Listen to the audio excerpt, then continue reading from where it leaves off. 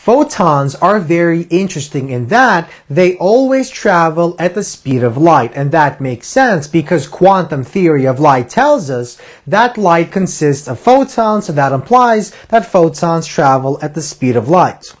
Now, Photons are never stationary. You will never find a photon that is simply at rest. Even when a photon collides, let's say with an electron, what happens is the energy stored in a photon is transferred to that electron and the photon simply ceases to exist. Now, how exactly do we define the momentum and the energy of a particle that is traveling at, a, at the speed of light or at a speed that is very close to the speed of light?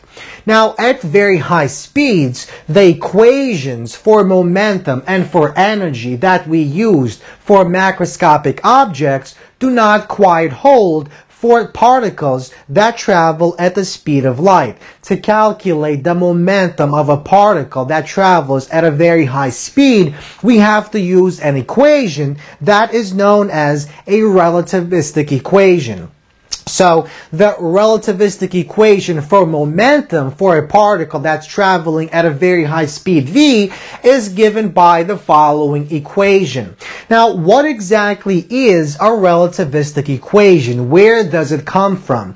Where it comes from the special theory of relativity, and we'll derive and talk more about this equation when we discuss the theory of relativity. For now, it's sufficient to say that this is the equation that gives us the momentum of a particle that is traveling at a very high speed, at a speed that is close to the speed of light.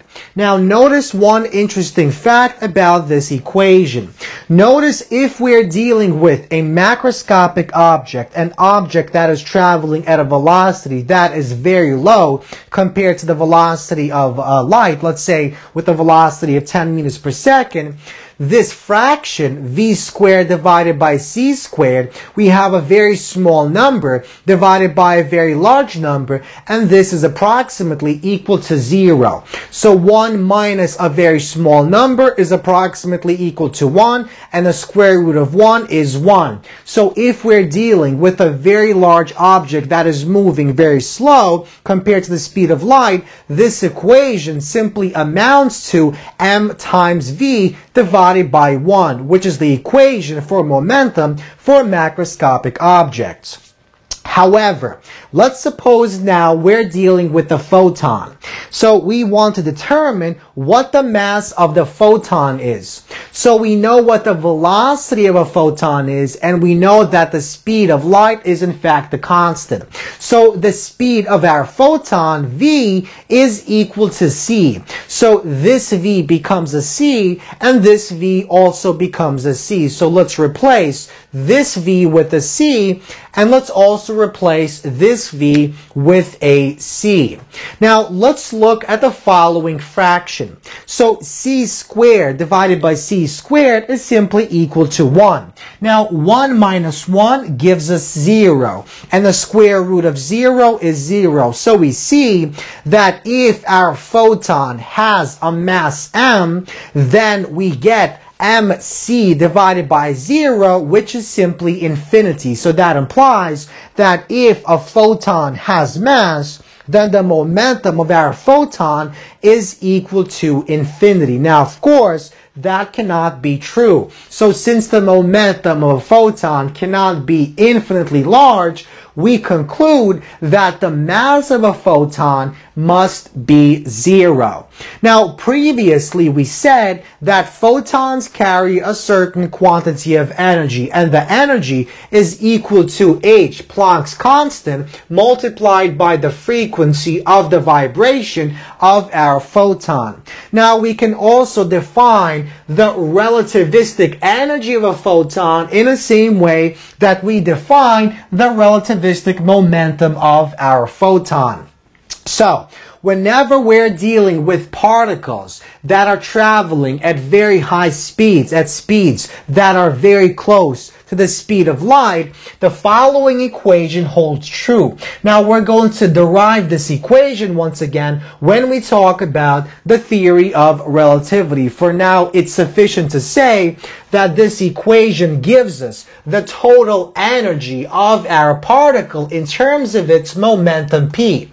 So the square of the total energy of our particle is equal to this quantity plus this quantity where m is the mass of the particle, c is the speed of light, and p is the momentum of our particle. So since a photon is considered to be a particle, let's use this equation to find what the momentum of our photon is.